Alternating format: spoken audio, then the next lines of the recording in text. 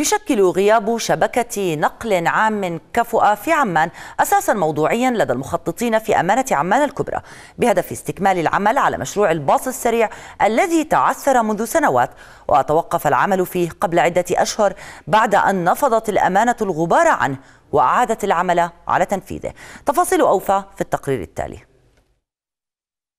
العمل لتنفيذ مراحل مشروع الباص السريع المختلفة. جار الآن في شارع الأميرة بسمة وتليه مناطق أخرى طرحت الأمانة عطاءاتها أو على وشك طرحها. المهم في هذا السياق أن العمل في هذا المشروع يترافق مع البدء بتنفيذ مشروع الباص السريع عمان الزرقاء. إعادة إنشاء شارع الأميرة بسمة. تم إعادة إعادة كامل الاتفاقيات اللي كانت مبرمجة واللي تم العمل على أساسها. وإن شاء الله رب العالمين يعني هذا المشروع اللي إحنا فيه اليوم نطلع على يعني إعادة إنشاء المشروع وإعادة إحيائه. يعني تم المباشرة فيه بشهر خمسة. وإن شاء الله تعاقديا هو ينتهي العمل فيه ب 10 7 المراحل القادمة الآن في عندنا عطاء تم طرحه بتقاطع الدوريات الخارجية على شارع الملكة رانيا وسيكون العمل في هذا المشروع أيضا يعني متواكب خلال يعني فتح العروض خلال أقل من شهر ويتم يعني البدء بالعطاء خلال الفترة القادمة. أمانة عمان تتطلع إلى أن يرى الباص السريع النور خلال عام 2018 بعد الانتهاء من أعمال البنية التحتية لتبدأ مرحلة استدراج عروض المشغلين.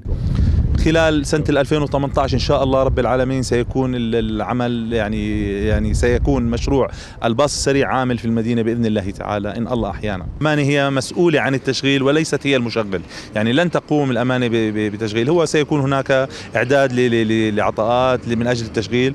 الباص السريع كما تقول الأمانة مشروع حيوي لوضع واقع النقل العام على السكة الصحيحة وسيلمس المواطنون إيجابياته ما أن يبدأ بالعمل. موضوع الوفر المالي على المواطن يعني عشان أنا أوفر على المواطن ما يستخدم سيارته أو ما يستخدم خلينا نقول يقلل من استخدامه للتاكسي الخاص أعتقد أنه اللي سيكون هذا مجدي جدا للمواطن اللي بيتنقل على وظيفته يعني يخرج صباحا ويعود يعود مساء. أكيد راح يخفف أزمة أكيد. مليون بالمية راح يخفف أزمة.